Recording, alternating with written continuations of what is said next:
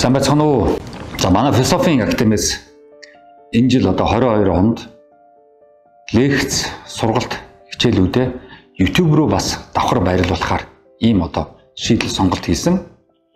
За YouTube-д membership одоо үүсгэж member гэсэн дээр join гэсэн даналтыг дараад ингээд одоо лекцүүд болон хичээлүүдийг сонсох боломжтой болсон. За өмнөх жил намар саяхан одоо дууссан намрын цоврал лекцүүдийн зүүмөв бичсэн бичлэгийг бид нар YouTube тавьсан байгаа. За саяхан одоо өнгөрсөн 7 хоногт бас урлагийн философи нэртэй цоврал хичээлүүдийг YouTube-д тавьсан. За ингээд та нар одоо бидний ажлыг дэмжиж YouTube дэх одоо шинэ ийм үйл ажиллагааг маань цаашаа одоо хөгжөхөд хамтдаа одоо ажиллаж тусдалцаж явна гэдэг итгэлтэй байна. За ингээд анхаарал тавьсанд баярлалаа.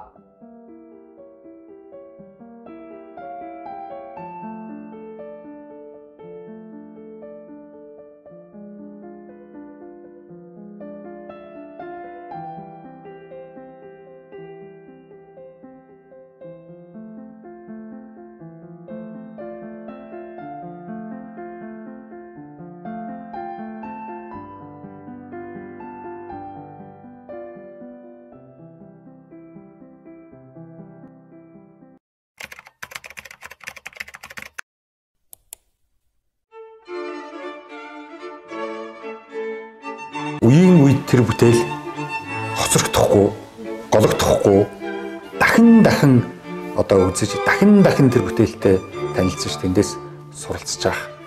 Ийм одоо урлагийн бүтээлүүдийг бол ер нь классик гэсэн одоо англид оруулдаг. Баруун Европ, Пад Европод энэ хөтөлбөр үүсгэхэд нөлөөсөн одоо яг тэр философийн хүчин зүйл, психологийн, нийгмийн социологийн хүчин зүйлүүд. Тийм ч усаас Ничегийн тэр ном бол Супермен гэдэг ном маань бол ийм их готрол дотор бид нар байна. Энэ дотроос яаж би өөрөө өөрийгөө авч супер хүн шиг ингэж дээд хүн шиг болох юм бэ гэдгийг Ниче зохиолдоо бичиж байгаа шүү дээ. Гётег ийм антикийн үеийн ийм чулуун хилтерхийн дээр суулгаад цаана нь антикийн том том том том баган бүтээлүүдийг одоо харуулсан харуулсан тийм одоо зураг зурсан.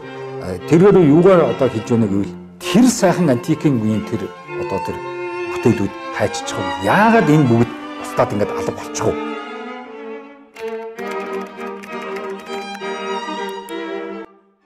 За сайн байцгаана уу. Өнөөдөр бид гурав Молор Эрдэнэ философийн академи дээрээс гурван улаан намын талаар ярилцахаар зөвлөрсөн байна. Тэгээ намайг Намин гэдэг Молор Эрдэнэ философийн академид суралцаад одоо 2 дахь жилдээ болж байна. Би шинжлэх ухааны технологийн сургуулийн хүнс биотехнологийн сургуулийн механик инженери мэрэгчлэр төгссөн хүн байгаа. За өнөөдөр бид гурийн ярилцах байгаа сэдв бол гурван улаан ном байгаа. Тэгээд Малар Эрдэнэ багшаас а энэ гурван улаан номын тухай нэг товч танилцуулаач ээ гэж эхний яриагаа эхлүүлье. За. За, эрхчлөө эрхэм үг. За, тэгшэрх тэгш боломж те шударгаас шудраг нэг юм гэсэн юм одоо гурван цуврал номыг за нэг 17 8 оны үед ер нь ингээд бичиж эхэлсэн. Тэгээд ном чи өөрөө ингээд нэг шууд ийм сэдвэр ийм ном биччихье гэсэн юу гардаг. Ер нь эрхчлөөний талаар монголчууд өдөр энэ ямар ойлголттой яваа тийм ээ. Тэгэхээр энэ за хүмүүсийн яриад байгаа энэ эрхчлөө гэсэн ойлголт ер нь маш их одоо зөрчилтэй тий. Ингээд ингээл эрхчлөө гэхэр нэг тийм дураараа гэсэн тийм одоо цаана нэг тийм ойлголт яваад байна уу гэсэн юм одоо хардалт надад төрсөн. Ер нь тийм одоо байдлууч маш их ажиглагдсан. Ингээд энэ эрхчлөөний талаар ер нь ном бичих хэрэгтэй байна. Эрхчлөө гэдэг өөрөө маш их одоо энд одоо эрхэм үг гэж бичсэн байгаа шүү дээ тий. Эрхчлөө эрхэм үг гэдэг. Тэгээ яагаад одоо эрхэм үг гэхээр энэ бол зүгээр ингээд хүний амнаас тийм хурдан амархан одоо гарчдаг ойлголт биш шүү. Эрхчлөө гэдэг бол маш том ойлголтоо тий. Эрхчлөөдөө болохын тулд хүн өөрөө бас маш их чадварлаг, оюунлаг тодорхой хэмжээний бас боловсрол хэрэгтэй. Эрхчлөөний талаар мэдлэг хэрэгтэй. Тийм ээ. Тэрнээс одоо ингээд шууд одоо би эрхчлөөдөө гэсэн одоо ойлголт бол биш шүү гэдэг. Тэгээд нөгөө талд яг хуу эргчлөө хэрвээ эргчлөөг одоо ярьж байвал хариуцлага одоо хамт дандаа явна шүү. Тий. Нэгэн тал одоо чи эргчлөөдгөө эргэлж байгаа одоо эргчлөө гэж байгаа бол хариуцлага хамт явна. А тэрнээс одоо Хариуцлага байхгүй бол одоо ямар хэрэгчлээ ярих юм. Тэг нэг дугаар тий дураараа л болно шүү дээ тий. Ямар ч хариуцлагагүй. За нөгөө талаар эрхчлээ бол одоо хүний ухамсарт үйл ажиллагаа. Тий яг бол маш их одоо ухамсартайгаар хүн одоо эрхчлөөг эдэлнэ гэхээс биш. Зүгээр одоо дураараа биш. А нөгөө талд нөгөө эрх үүрэг гэдэг том одоо асуудал явж байгаа ш тийм үү? Нэгэнд одоо эрхчлөөгөө эдэлсэн эдлэх эрхтэй байж болно чи хүний эрхээр а тэгвэл нөгөө талд хүний үүрэг гэж бие эрх үүрэг энэ хоёр дандаа одоо хамт явах хэрэгтэй гэсэн. За энэ бол ойлголт явж байгаа. За нөгөө талаар яг ер нь бол эрхчлөө гэдэг маань хүнд одоо сонгох одоо боломж байх хэвээр. Тэгээ сонгох боломжууд байж ээж тэгээд өөрийнхөө эрхчлөөгөөрөө өөрөө бие дааж сонголт хийхийг бол эрхчлөөндөө хамгийн суур ойлголт гэдэг чинь тийм ээ. А сонголт байхгүй ганцхан сонголттой газар бол эрхчлөө яриад явах уу? Тий, ганцхан сонголттой бол эрхчлөө ярих боломж. Олон сонголтууд байжээд тэрнээс бие дааж өөрийнхөө сонгох тийм одоо боломж ээж бид нар одоо эрхчлөө ярина. Нэгдүгээр А тэгэл эрхчлөө гэдэг маань амьдрах тийм үү мэрэгжил сонгох найз нөхөдтэйгөө хэрхэн одоо эрхчлөөтэй байх ээж аав за тэгэл нийгэмд орж ирэл гол нь одоо эрхчлөөний асуудал чинь нийгэмд их чухал байгаа шүү дээ. Тийм нийгэмд их чухал. Олон хүмүүсийн дунд одоо эрхчлөө эрхчлөө одоо эхлэхдээ энэ ном бол нэлээд л одоо эрхчлөө нэлээд одоо гаргаж ирсэн. Тэгээд яг цааш нь гурлаа өөрчлөлөх бах. За тэгшэрх тэгш боломж гэдэг энэ одоо хоёр дахь номыг одоо яагаад бичсэн бэ гэхээр ер нь бол тэгшрэх байхгүй бол эрхчлөө ярих ямар ч боломжгүй юм байна. Тий. Одоо жишээл мөнгөтэй их мөнгөтэй хүн байла, бага мөнгөтэй хүн байла. Тэгвэл их мөнгөтэй л эрхчлээд шүү дээ. Бага мөнгөтэй хүн ч эрхчлээгүй. Тэгэхээр ямар нэг байдлаар нийгэмд энэ хоёр хүн адилхан одоо боломжтой байж ижил эрхчлөө байна уу гэж нэг нь их боломжтой нөгөөх нь боломжгүй бол тэгэл эрхчлөө яриад явах уу? Тий одоо сургууль сурах эрүүл мэндэд үзүүлэх өөрийгөө боловсралтай болгох хөгжөхөд нийгмээс төрөөс тэрхэх тэгшэрхийг заавал одоо хэрэгжүүлэх хэрэгтэй. Тэгвэл бид нар хэрэгчлээ ярина. Тэгшэрхгүй газар бол одоо хэрэгчлээ ярих хэрэггүй. Албан тушаал өндөртэй албан тушаал багтаа хоёр хооронд тэгшэрхтэй байвал хин хин хэрэгчлээтэй. А зөвхөн албан тушаал дээгүүрх энэ одоо илүү эрэхтэй албан тушаал доогуур хүн доогуур хэрэгтэй гэх юм бол тэгэл эрхчлөө байхгүй. Тэгэхээр тийм газар, тийм албан газар, тийм компани, тийм сургууль, тийм гэр бүл, тийм найс нөхдийн дунд тэгшрэх байгаагүй цагт хэн нэгэн заавал илүү их эрхчлөө эдэлж, илүү их давмгаална гэсэн. Тэгэхээр заавал одоо тэгшрэх хэрэгтэй шүү гэдэг юм хоёр дахь одоо номоо бичижсэн. Тэгшрэхтэй газар хүн бүрт тэгшхэн боломж олдох хэрэгтэй. Гол нь л одоо боломж. Тий. Боломж зарим хүмүүст боломж олдох уу? Зарим хүмүүст маш их боломж олддог.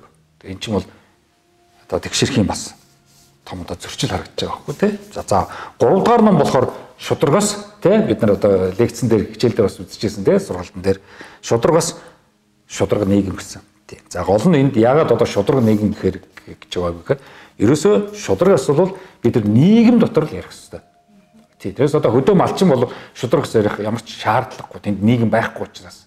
Улаанбаатар хотод бол эсвэл дарахын эрдэнэт хотодод шудрагс ярих бол бол нийгэмд хүн шударгаар оролцох, шударгаас үйлчлэх.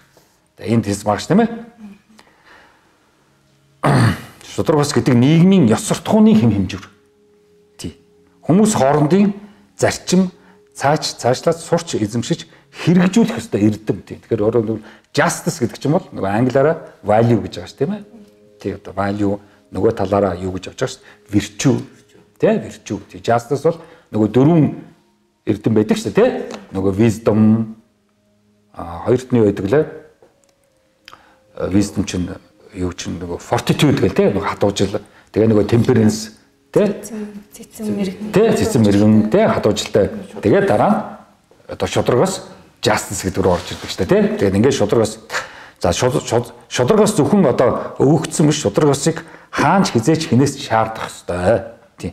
Төрийн алба болон эрх зүйн байгууллагууд шудрагасыг түгэх албан ёсны байгууллагууд. Төр гэдэг бол төр тэнцүү шудрагас байхгүй. Төр юуны төлөө ажиллах ёстой? Шудрагасны төлөө. Хууль тэнцүү, хууль зүй, хууль эрх бол тэнцүү шудрагас байхгүй. Хуулийн байгууллага бол шудрагасыг л хэрэгжүүлнэ шүү дээ. За өмгөөлөгч хүн бол бас шудрагасны төлөө. Тийм. За тэгэл одоо сэтгүүлч байна. Сэтгүүлчд бол одоо шударгаас нөлөөлөл ажиллах хэрэгтэй шүү дээ. Тэднээс одоо шударгаасыг хэрэгжүүлэхгүй бол одоо сэтгүүлч гэдэг юм хөө. Тэгээ шударгаас бол хаанч одоо улс төрч шашинч заавал хэрэгжих хэрэгтэй. За ийм одоо нийгмийн шударгаас бол тэгшэрх хоёртоо нийлж ингээд одоо эрхчлэг боломжуулж тэгээ эндээсээ эцсийн эс энэ гурыг одоо яагаад яриад гэвэл нэгэнт л одоо монголчууд ингээд бүгдээ асуудаг ш надаас. Бид нар яг ямар нийгэмд амьдраад байна гэж. Тийм бид нар ямар нийгэмд амьдраад байна гэвэл одоо шудраг өстой нийгэм үү? Үгүй юу. Тэгшэрхтэй нийгэм үү? Үгүй юу. Эрхчлөөтэй нийгэм үү? Үгүй юу. Энэгээр л бид нар одоо ямар нийгэмд амьдарч байгаагаа одоо мэдэн ш дээ. За ийм одоо товчхондоо гурван болоо намаа товчхон. За юу яа гэж бодож чинь эхний би тэгэд ингээд нөгөө асуулт хариултаар гурван номоос явна. Тэгээд эхний асуултаа эрхчлөө эрхэм үг номноос асууя гэж бодож байна. Тэгээд эрхчлөө гэдгийг та яагаад яг эрхэм үг гэж онцолсон бэ гэдэг асуултыг. Харин тийм эрхчлөө гэдэг маань үнээр одоо яах чаргагүй одоо эрхэм үг. Тийм үү? Өөрөлд эрхчлөөг нь эрхэмлэх хэрэгтэй. Эрхчлөөгүй газар бол одоо тэгэл нэг л бол одоо одоо боолын нийгэм гэдэг шиг эрхчлөөгүй газар тэгэл дандаа дээдсэл ярина. Дээдсүүд одоо илүү эрхтэй. Тийм үү? Ноёдууд ярина. Ноёдууд илүү эрхтэй. Тийм үү? Баячууд ярина. Баячууд илүү эрхтэй. Тийм учраас эрхчлөө гэдэг бол одоо үнэхээр эрхэм шүү. Энийг бол хинч одоо энэ эрхчлөөний төлөө одоо тэмцэх ёстой, эрхчлөөгөө эдлэх ёстой.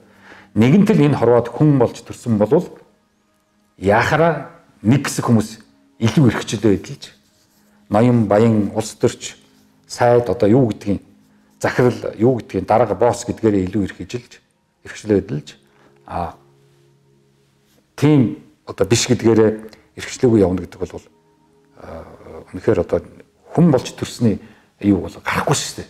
Тий одоо эрхчлөөгүй явсаар бол дуусна гэдэг бол тэгэл одоо боолтол адилхан шүү дээ. Тий а яг хөө бид нар бол яг хөө эрхчлөөг хэд их улс төржүүлээд явцдаг. А би бол яг улаан номд бол ер нь хэд их улс төржүүлснээс бас ер нь найс нөхдийн дунд гэрүүлийн дотор эхнэр нөхрийн хооронд ээж аав хүүхдүүдийн хооронд бас эрхчлөө бас одоо үйлчлэх ёстой. Аа хит их одоо аав дамгаа байсан ч юм уу эхнэрэн дамгаа байсан хит их одоо найзууд дотор нэг найз нэг даван байлсан эрхчлээ хэлсэн нөгөө дуулан нэг найзаагаа дагсан тэрнийхээ одоо үгэнд орсон тэр үгнээс гарч чадахгүй. Эсвэл одоо нөгөө лам нарт шашныханд одоо мохор сүсгдүүлж тэд их эрхчлөө эдэлж лам нарын одоо тоглоом болж эрхчлөөгүй явах. Гэх мэтлэнгийн нийгэмд хүмүүсийн хоорондын харьцаанд бол эрхчлөө ямар их үнэтэй ямар их хэрхэм юм бэ? Энэ зүгээр эрхчлөө гэдэг зүгээр нэг амнаас ингээд сул хамаагүй гаргацдаг одоо үг ойлголт биш шүү. Маш их хэрхэм одоо нөгөө талаар ихчлээ бол үнэт зүйл. Тий. Яах чаргагүй. Яг л одоо боловсралтай адилхан. Ихчлээ бол эрүүл мэндтэй адилхан үнэт зүйл. За сайн байцгаана уу? Намайг мөнх ирдэг. За миний хувьд Шүтээсийн мэдээлэл холбоо технологийн сургуулийг IT инженерээр төгссөн. А одоо IT-ийн чиглэлийн сургалтын төвд IT-ийн сургалт ордог юм. IT-ийн салбар юм. Аа. А юуны өмнө би номны сэдв рүү орохоос өмнө башаас ганц хоёр философийн талаар асуулт бэлдсэн байгаа. За би өөрөө IT-ийн буюу нөгөө сайенсийн салбарын хүн болохоор хамгийн түрүүнд бол энэ философи үнэхээр шинжлэх ухаан мөн үү гэдэг асуултыг харин тий сайенс мөн үү гэдэг асуулт. Тань тий. Энэ асуултууд бас маш их явдаг л да. Тэ ер нь бол философи одоо яг шинжлэх ухаан шиг одоо сайенсыг бид нар шинжлэх ухаан гэдээ орчуулад дасчихсан шүү дээ тийм үү? Тийм тэгэхээр ер нь шинжлэх ухаан мөн үү гэсэн ийм асуултууд нэлээд асуудаг зөвөр яг одоо философчд бол ер нь ярьдаг л да. Ер нь бол философи бол өөрийн гэсэн бас нэг орон зай, орон одоо өөрийн гэсэн нутагтай. Тэр философийн нутаг одоо хаана байдгүй гэвэл ер нь энэ талд шашин, энэ талд шинжлэх ухаан сайенс. Тэгээ тэр хоёрын дунд л одоо философи байрладаг. Тэг яг одоо шашинтай бол зарим сэдвэрээ ойролцоо. А энэ талдаа шинжлэх ухааны аргачлал тийм үү мэдлэгийг хэрхэн одоо бүтээж онол гаргаж явдаг тэр аргачлал арга барилуудтай бол философи бас төстэй. Тэгэхдээ бол яг одоо шинжлэх ухаан шиг одоо ажиллах боломжгүй юм. Одоо ямар лабораторид хэмжилт хийх биш. Тий. А нөгөө талдаа яг социолог, психолог гэсэн одоо оюуны салбаруудтай нэлээд ойр одоо ажилладаг. А тэгвэл философи бол одоо шинжлэх ухаан, шашин хоёрын дунд байдаг. Шашинны одоо бурхны одоо асуудлууд, сайн муугийн асуудлууд, нүгэл буй ингээл янз бүрийн асуудлуудад бас философи өөрийн гэсэн тайлбаруудаа хийдэг. Тэгэхдээ яг одоо шууд шашин шиг одоо энэ бол бурхан чи тэгж амьдр чи тэрнтэй хормай суу ч гэдэг юм уу энэ байранд амьдр энэ байрнаас гарч гэдэг юм. Тийм одоо мухарсгийн одоо зааврууд бол философид хизээч хилдэг. Тийм учраас би одоо та нарын янз бүрийн бас нарийн хувийн асуултуудад хариултгүй чинь тэрэндээ байхгүй. Тий би бол одоо ламнар шиг шашин шиг хамаагүй хүнд ингэж хүний хувьд яг зааж чиглүүлэхгүй. Зүгээр яг зөвлөгөө бол өгнө. Тий ерөөхдөө энэ талаар чи өөрөө бод ингээд ингээд бодохоор чамд одоо таалагдж гэнэ үү, таалагдгүй байна уу? Тий тэр тэр бодох чадварыг л философи гол нь хүмүүст одоо зааж сургаж явдаг. Нөгөө талдаа нөгөө танин мэдхүү юмыг одоо зөв мэдэх. Тийм үргэлж одоо асуух. Тийм энэ одоо яг мөн үү биш үү? Тийм яг одоо энэ бидний одоо ойлголтоор энийг одоо эцсийн мэдлэг гэж болох уу? Эсвэл одоо анхны мэдгэтгүүн эсвэл одоо таамаг явж байна уу? Тэ? Тэгэл дандаа шалгаж баталгаажуулах. Тэгээд шалгах, баталгаажуулах. Тэгээд дахиад асуух. Тий. Тэгэл философи бол ер нь данаа л тэгж явж байгаа шүү дээ. Асуугаал тэгэл асуудалд орлоо, хангалтгүй байлаа. Дахиад асууна. Тий. Хариулт хангалтгүй. Тэгэл дахиад асуугаад чадахгүй даа одоо асуугаад байгаа шүү. Хариулт нэг л хангалтгүй болохоор тэгэхээр тийм учраас философч хүн үргэлжийн ийм тавгүй сэтгэл хангалуун биш явдаг. Тэгэхээр философи ном бичихтэй одоо өөрийнхөө хувийн бодол юм уу хувийн дүгнэлтэн дээрээ дөмсөлж ном бичдэг үү? Яг нь ер нь бол тэгж бол арай л болохгүй л дээ. Тэ одоо жишээл роман бичдэг ч юм уу, түүхэн роман бичдэг. Тийм хүмүүс бол өөрөөрөө ингээл хамаагүй дураараа бичдэг л. Тэг баримт баримт хамаагүй тоохгүй. А философч бол баримт тоох хэвээр. За энд одоо би нэг том том дэлхийн том философчдын зургуудыг өлгцсөн байгаа. За энэ хүмүүсийн номнуудыг одоо бас уншчихсан. Одоо бидраас өмнө 2000 жил 3000 жилийн турш дэлхийн том том том философчид маш их ном бичээд ер нь ихэнх асуултуудад том том том одоо хариултууд өгсөн байгаа шүү дээ. Тэгээ онлууд гарцсан. Тэгэхээр тэднийг эхлээд маш сайн уншиж мэдсэн байх хэрэгтэй. За тэгээд тэднийг номнуудыг одоо том философчдын номнуудыг уншаад тэгээд явж явах уншиж явах явцад хүн өөрөө хөгжиж эхэлдэг л дээ. Тэгээ хүн өөрөө ингэж хөгжөөд ирэхээр өөрөө асуултууд тавиад өөрөө тэр асуултуудад тэр томчуудын онол дээр тулгуурлаад цаашаага хариулах өөрөөхөө хариулах тэр үйл явц болтгоо л доо. Тэгэхээр одоо ингээд гурван улаан ном болвол ер нь одоо дэлхийн том философчид ер нь эрхчлөөг юу гэж тайлбарлаж ирсэн. А Монгол хүмүүс өөрийнхөө улс оронд өөрийнхөө ард түмний дунд эрхчлөөг хэрхэн тайлбарлах вэ? Тэгшэрх гэдгийг одоо философчид хэрхэн тайлбарлаж ирсэн. Тэгвэл одоо бид нар Монгол улсад бид нар хооронд нийгэм бид нар тэгшэрхийг юу гэж ойлгож явах хэрэгтэй. Яагаад хэрэгтэй? Шударгаас яагаад хэрэгтэй? Тэгээ одоо шударгаасны чинь гол одоо хилээд байгаа гол биднэрт хэлж байгаа одоо мессеж гэдэг шиг гол одоо онол юу вэ гэхээр хинд юу н оногдсон бэ? Тийм үү? Тэрийг нь л өгөөчтэй л гэсэн явж байгаа шүү дээ. Тий. Өөрөөр нь оногдоо оногдсноо авч чадахгүй бол шудраг бас авлагтай. А өгөх ёстойгоо өгч чадаагүй бол бас шудраг бас өглөхтэй гэсэн. Тэр өглөг авлагын л асуудал явж байгаа шүү дээ. А зарим үед бол авахгүйгээр шууд одоо өгнө гэж бас байж болно. Тий. Заавал одоо ингээл нэг тэнцвэрлэх гээл лайх биш. Тийм үү? Тий. Авч агаад авсан авчгаад тэгээд заавал одоо буцааж өгөх гэсэн бас нэг тийм нэг өрөнд орцсон шиг бас байж болохгүй. Тий. Тэгэхээр ер нь бол шудрагс гэдэг бол маш их тийм одоо нэг эрдэм учраас энийг маш их одоо оюуны оюунлагаар тэнцвэржүүлж одоо явах хэрэгтэй л доо. Тий. Тэнцвэржүүлэх хэрэгтэй. Хид их нэг томгойлсон, хид их одоо бас туушрч бас болохгүй. Шудрагсыг бол заримдаа хүмүүс маш их туушруулдаг. Тэг тэр бол осолтой. Тийм учраас эрдэм биш нэрлэдэг байгаа байхгүй. Эрдэмтэй хүн бол шудрагсыг тааруул тохируулж тэр одоо чадвар суралцсан байдаг. Эрхчлөө номд та нэг юу бичсэн маа штэ. Хүн нөгөө хувийн нэг 6 асуудлаас эхлээд чөлөөлөгдөх хэвээр. Эрхчлөөний урдж болгоод. Тийм. яг яг энэ хувийн 6 асуудлаасаа чөлөөлөгдөж дараа нь эрхчлөө ярих боломжтой гэсэн санаа бичсэн байгаа тий. Энэ талаар жишээлбэл яг нөгөө олуулагаас чөлөөлөгдөх гэдэг дээр жишээ аваад тайлбар хэлээч. Тийм тий олуулагаас чөлөөлөгдөх гэдэг бол яг ер нь бол хүмүүс хүмүүсийн ингээд ажиглалтаар бол ер нь олон нь бол одоо гэх гэсэн тийм одоо ойлголт яваад байдаг юу. Ямар ч ус олуулаад зөв гэсэн байхад одоо тэгэл зөв юм байна. Би буруу болж таарлаа. Тийм. Тэгэхээр өөрөөр ганцхан зүв байхыг үгүйсгэж байгаа байхгүй олуулаанууд. Тэгээ энэ бол маш осолтой. Тий, ер нь бол одоо философийн болон психологи сэтгэл зүйн салбарт бол олуулаа болвол ер нь дандаа алдаатай шийдэл төрдөг шүү гэсэн тийм явдаг л да. Тий, одоо нэг нэг нэгнийгээ дагаад тэр тагаа бодож эргэцүүлж ярилцахгүйгээр зүгээр олуулаад бол зүг болчих гээд байдаг. Тий. Олуулаг тэгээд тэгээд тэгээд тэрийгэ дагаад хүмүүс ч гэсэн бас олуулагийн талд ингээд ороод идэг. Тий. Одоо бид нар мэдэн штэ тийм үү? Одоо жишээлбэл ингээд улс төр ч гэсэн ингээд янз бүрийн сонгуулийн үед олон хүн сонгож байгаа тал руу очиж бас хамт адилхан одоо тийм үү тэдний зүг бах юм тэд нар ялж байгаа юм чинь багч одоо хамт ялыч гэдэг юм. Тэгвэл ялсан тал манах гэдэг байна. Ялсан тал манах тий. А тэгтэл ялсан тал чинь олуулагийн тал байхгүй? Олуулаад ялж байгаа шүү дээ. Олуулаа гэдгээр ярьж байгаа шүү дээ. Яг одоо тийм нэг тоо тоогоор гаргаад ирж байгаа юм чи.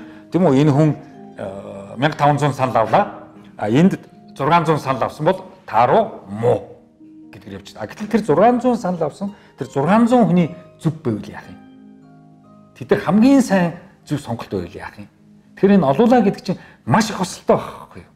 Ялангуяа бас найз нар дунд ч гэсэн. Найз нар дунд ч гэсэн ингээл тавуулаа зургуулаа суужгаад нэг нь юм уу хоёр нь зөв юм ярьж хагаад нөгөө дөрөв нь юм уу нөгөө тав нь нөгөө хоёрынхаа эсрэг болоод тэгээ нэг нь тав нь олуулаа учраас одоо бараг жил хүчрхийлж байгаа байхгүй. Тэмцэж хүчрхийллээр олуулаа чинь хүчрхийлж шүү дээ. Бид нар одоо олуулаа учраас хүчтэй гэж шүү дээ. А хүчтэй гэдэг чинь зөв гэсэн үг шүү дээ. Тийм. Тэгэхээр энэ энэ олуулаа гэдэг олуулааны хэлж хагаад хүний хэлэх гэсэн ярих гэсэн зөв зүйтэй санал э, бодлуудыг э, унтрааж аста нөгөө нэг нөгөө нэг хүчирхийлэлд өртөөл өртөөлнө гэдэг бол одоо маш бүдүүлэг асуудал та. Бүдүүлэг байхгүй тэгээ. Ялангуяа 21 дугаар зуунд ийм орчин үеийн хүмүүс болцоход интернет хөгжчихсэн гаруудаас одоо юу л техник технологи ингэж хөгжчихсэн байхад нэгнийхээ зөрж байгааг хүлээж авч чадахгүй зөрүүд гэдэг юм эсвэл чи ганцаараа тэгээд ганцаардуулаад тэгээд ерөнхийдөө дуугаа олгоод тэгээд урмыг хуглаад тэгээд ерөнхийдөө дуугаа дагсан одоо тэгэл одоо ёсоо нөгөө нэг нохошгол юм болно шүү дээ. Тийм тэр их нөө ганц мод гал болдгоо гэдэг байна шүү дээ. Ганц хүн айл болохгүй гэдэг. Энд дээр бас энэ дээр тэгшэрх сэдвүүдээ байсан л да. Энд дээр ганцаараа байх үнэхээр чухал юм байна. Тий, ер нь бол яг орчин үеийн ерөөсөө бидний өнөөдрийн техник технологи энэ одоо интернет тэгэл Википедиа одоо юу гэдэг ингээл ном аа бид нар нөгөө Kindle энэ төргээл тийм үү одоо номнуудыг татаж авч унших олон ингээл номнууд байна. Тэгэл энэ эдийг бүгдийг одоо унших юм боломжтой болцсон. Хүн өөрийгөө хөгжүүлэх маш их одоо боломж нэгтгэсэн ийм үед ерөнхийдөө ганцаараа байхаас өөр аргагүй болчиход байгаа байхгүй юу. Одоо тэгж ижил хүн маш их ажил амжуулах гэдэг байгаа байхгүй юу. Ганцаараа байвал асар их боломжууд нэгдээд байгаа байхгүй юу. Тэгжээж хүн чинь ганцаараа байж номдоо төвлөрнө, номоо уншина, өөрийгөө хөгжүүлнэ. Тий. Одоо ч юм бол хугацаа гэдэг бол хамгийн үнэтэй болчиход шүү дээ. Мөнгө үнэтэй биш, хугацаа үнэтэй болчиход шүү дээ. Яг тэгвэл богинохон хугацаанд ихэн мэдэж авах тийм боломж одоо бий болчиход байна шүү дээ. Би одоо дандаа л ярьдаг шүү дээ. Одоо ингээл гар утас байлаа гэхэд бид нар ингээл гар утас руу ингээл орлоо. Тэгэл мянган номын чагсаалт баг шүү дээ. Тэгэд одоо энэ мянган номоос чи одоо эхлээ эхнээс нэгээл уншмаар байна шүү дээ. Тий. Өдөр хэдэн цаг вүлээ? Тий. Идэвхтэй цаг чи 8 цаг. 8 цагийнхаа хэдэн цагт нь ажиллаа хийждэг вүлээ. Тэр чөлөө цагаараа би ном уншихгүй болохгүй. Орой унтах унтлаа жоохон ном уншиж чагаад унтна. Өглөө бослоо ажил. Тий. Тэгэхээр ч ерөөсөө хүн ямар нэг байдлаар арай ганцаараа байж чад арай гэж энэ бүгдийг нэг давах боломжтой болж байгаа.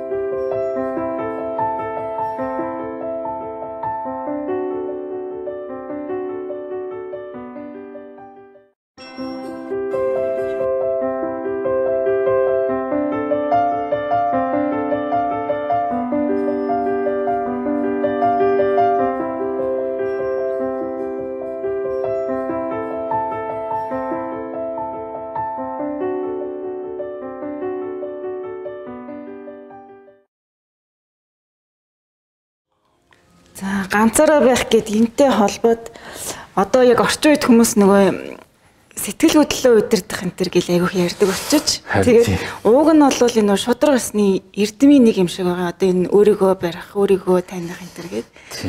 Тэгэхээр яг энэ нөгөө сэтгэл хөдлөлөө удирдах гэж яриад байгаа хүмүүс жоохон буруу ойлгоод байна удаа л гэж анзаарсан. Тэгэд энэ дээр яг яг шудраг усны энэ бол эрдэм гэдэг талаас нь та нэг Харин тийм.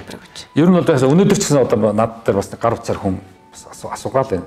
Монголчууд одоо сэтгэл зүйн боловсрал хэрэгтэй байна ер нь сэтгэл зүйн асуудалд орсон хүмүүс хаана очиж зөвлөгөө авах вэ? Ийм асуултууд их тавьж яана л да. Тэр нь психологийн асуудал чинь өөрөө тухайн хүнээс маш их хамааралтай. Хүн бүрийн психолог өөр хүүхэд нас, бага насндаа яасан, ийсэн, юу болсон, ээжтэйгээ ямар харьцаатай байсан, аав ямар үүрэг гүйцэтгэж исэн гэл ингээл тэгэл одоо ах эгч нар гараад байна. Ах эгч нар ямар үүрэг гүйцэтгсэн, ээжийн дүүнэр, аавын ах эгч дүүнэр гэл ингээл ингээл бид нар ч ингээл янз бүрийн хүмүүс дунд бидний энэ психолог үүсэн одоо хөгжиж байгаа байхгүй. Тэгээд энд ямар ямар асуудлууд үүссэн чинь хожим хойно одоо тархинд нөгөө дулчин гарч ирээд санамжинд үсээд шүм зүудэлт юм өдөр одоо асуудалд ороод тэгээд тэрнээсээ болж тэр психологийн асуудлууд чинь бид нар өөрснөө мэдэхгүй нөгөө ан consciously гэдэг чинь ухаангүйгээр уурлах бухимдах тэд нар чинь ингээд ухаангүйгээр гараад ирдэг. А тэгээд тэргээ дарах асуудал гардаг. Гэтэл дарахын тулд хоёр л юм хэрэгтэй байдаг нэгд нь боловсрал боловсралтай байвал тэр өөрийгөө ингээд ойлгоод тэргээ дарах бие барих асуудал гарч ирнэ. Хоёрт нь одоо ёс суртахууны асуудал гарч ирнэ. Өөрөөр нөгөө бие л ийм одоо хачин одоо тийм үү асуудалтай нөхөргөл одоо одоо бөхчүүч гэдэг юм уу энэ урлагийнхан ч гэдэг юм одоо нэг бүдүүлэх хүмүүс байдаг шүү дээ. Тэгээд тэд чинь ингээд бүдүүлэхтэй байдаг шүү дээ. Тэгээд яагаад ингээд анхаар одоо би одоо сэтгэл зүйн асуудалтай ч гэдэг юм. Агтлаг гүдгэл одоо нийгэмд юм ёс суртахууны хүмүүсийн хоорондын харьцаанд тийм үү ингэж болохгүй гэсэн юм байна шүү дээ. Тэрийг одоо өөрөө яах вэ? Тэгэхээр нөгөө хүмүүс чинь сургууль хүмүүжил багасаа явагдаг учраас психологийн асуудлууд явандаа ёс суртахууны асуудал одоо төрчдөг л да манайд. Тэгээд ингээ хоёр чинь ингэ зөрчилдөд эхэлчихдэг л дээ. Маш хэцүү л дээ. Тэгээд нөгөө багаас юуны нөгөө би одоо гэсэн ном одоо нэг гурван одоо энэ шар ном дотор цаашид бас ярилцсан. Энэ дээр бас биегийн тухай нэг нэлийн байгаа. Одоо энтхийн философи дээр Тэр өөрөлд бидний энэ бие чинь үүсэх тэр үйл явц чинь бидэрт маш их зөрчилтэй өгч байгаа байхгүй. Тэгэхээр нөгөө би үүсч чадахгүй учраас би өөрөө би гэсэн тэр ойлголтоо бие барих тэр нут чинь би үүсэх учраас хинч болчих болдог. За одоо бид нар одоо улс төрлөө орно, шашинлуу орно, за нийгмийн янз бүрийн салбар руу орно, багш нар байна, эмч нар байна. Тэд нар чинь нөгөө би үүсээгүй учраас тэр хүмүүс бас ямар ч үед ингэж өөрчлөгдчихдөг. Маш хэцүү маргааш өглөө өрөөд ирэхэд багш дахиад өөр юм яриад эхэлдэг юм. Э, дараагийн 7 хоног нөгөө эмчтэйгээ уулзахад эмч шал өөр юм яриад эхэлдэг юм. За улс төрчл цэцэрэг бид нар мэдж байгаа юм гэдэг эрүүлж хүмүүс байдаг. За тэгэл шашныхан болвол бүр мөнгө л авч ивэл юу гэж өнөөдөр худлаа ярьж маргааш худлаа ярихаас буцахгүй психологийн тэр чигээр асуудалтай хүмүүс. Тэгэхээр ер нь бол бид нар энэ хүн болох тэр үйл явц маань энэ Монголын ард түмний дунд э, хөрхий бүтлгүйтдэг Тэгэхээр бид нар бол ерөөсөө зүгээр л улсаараа одоо сэтгэл зүйн аа одоо сэтгэл зүйн асуудлуудын цуглуулга тэг үргэлжлэн үрг сэтгэл зүйн асуудлууд гэдэг шиг юм болно тий. Яг л тэр хүн болох үйл явц чинь баг хүүхэд наснаас ингээд ингээд ингээд насанд хүртэл залуу эдэр нас хүртэл явагдах тэр үйл явц чинь өөрөө маш их төвхтэй алдаатай явагддаг учраас хэцүү. А хойд хөрш Орос, урд хөрш хятад, за зүүн тишээ Япон гэдэг энэ арт түмнүүд бол ерөнхийдөө тэр сургууль хүмүүжил хүүхэд наснаас эдэр насны хүртэлх тэр замыг бол маш их ингэж хяналттай авч явдаг. Ээж аав 10 жилийн сургуулийн багш хоёр хүртэл хоорондоо ингэж хамтарч ажилладаг учраас хүүхэд бол ерөнхийдөө дундуур нь залдиж мэхлэх сэтгэл зүйн асуудалд орох юм ч бол нэлээд юутай явж байгаа юм л та. Замраатай явдаг л да. Нэлээд замраатай явдаг л да. Энэ тэгшэрх номонд тэгшэрхийн дайснуудын талаар одоо бичсэн байсан. Тэгээд тэгшэрхийн дайсан дээр үгүйсэх гэдэг сэдвээр энд би хүн хүний талаар бичсэн байсан л да. Би хүн болох тий.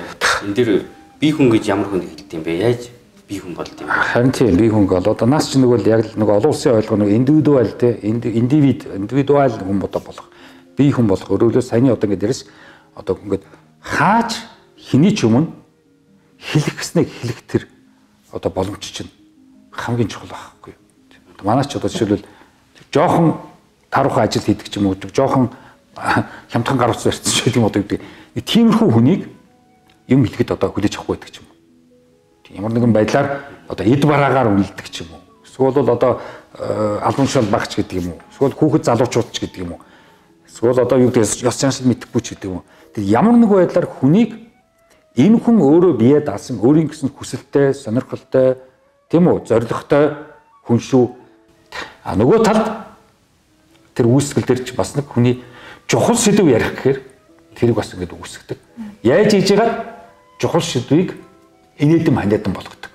Тий одоо монголчуудын нэг маш том одоо бүдүүлэг одоо үйлдэл бол юм л бол онгоо ярих, юм л бол инээдэн болгох.